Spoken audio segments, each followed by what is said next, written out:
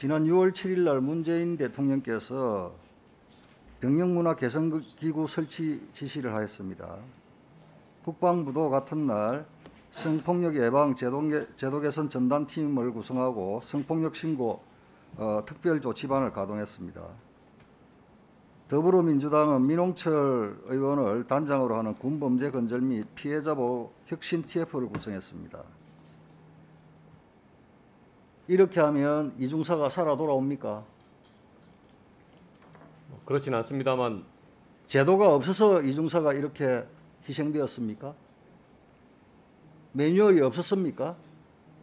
매뉴얼의 적용이 제대로 이루어지지 않았습니다. 그러니까요. 있는 법, 있는 제도, 있는 매뉴얼도 제대로 예? 운영을 하지 못해서 지금 이중사가 1차 가해하고 2차 군의 조직적인 은폐, 회유, 협박에 의해서 희생된 겁니다. 이 정부는 미투 운동이 불거지자 또 대책회의를 하고 어? 기구를 만들고 매뉴얼을 만들고 2018년도에 그에 덩달아서 국방부도 양성평등센터를 설립을 했어요. 양성평등센터 이번에 이 사건에 있어서는 무용지물을 넘어서 방조했어요. 그렇게밖에 볼 수 없다.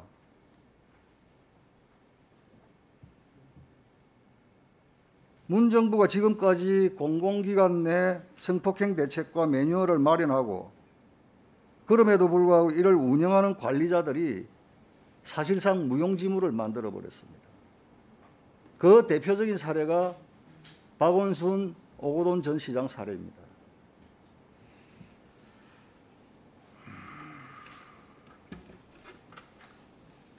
결국은 이 성폭력 예방은 제도보다는 운영하는 사람의 문제다. 동의하십니까?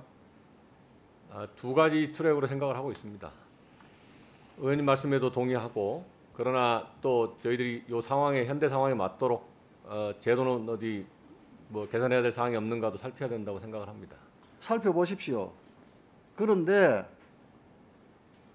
유사한 제도나 매뉴얼이 아니면 지금 현재 있는 매뉴얼보다 더 나은 매뉴얼이 제도가 지침이 나올 방법이 별로 없을 겁니다.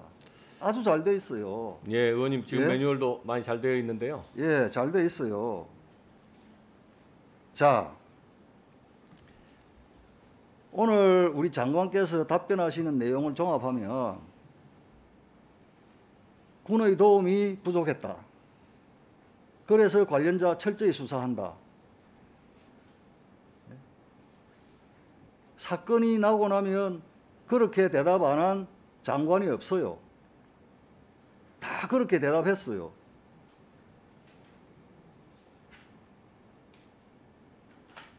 결국 뭐냐. 문재인 정부 들어서 이걸 다 뜯어보십시오. 지금 이게 과연 군대 내에서 일어날 수 있는 일이냐. 사회에서도 이렇게 안 해요. 예? 하물며 군대에서 기강을 목숨처럼 생각하는 군대에서 이게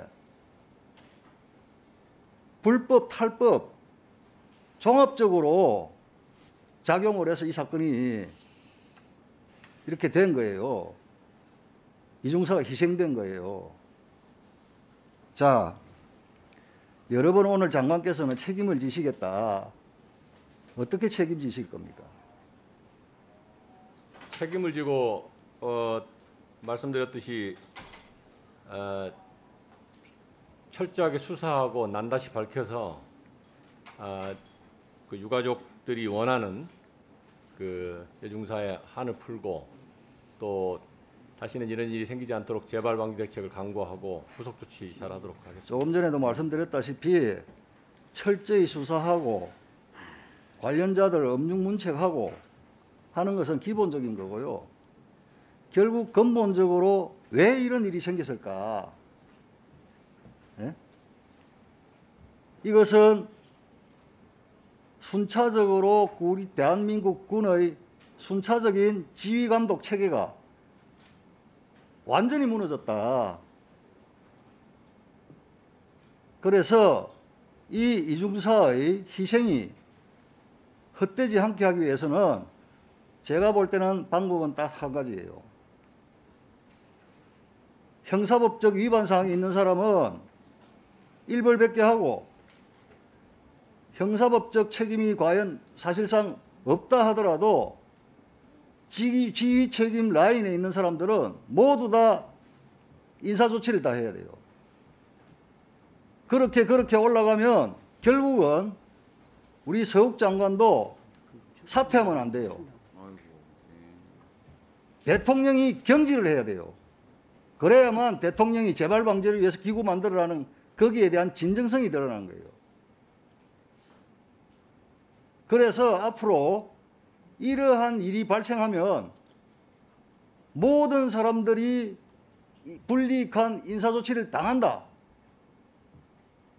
그렇게 경각심을 주지 않으면 이런 사건 또 생깁니다.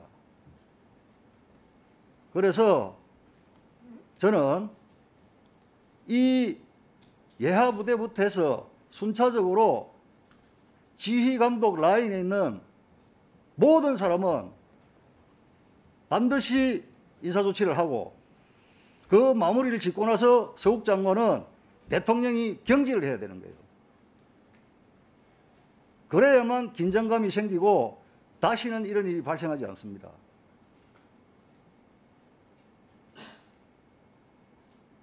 장관님, 예. 제 말씀에 동의를 하십니까?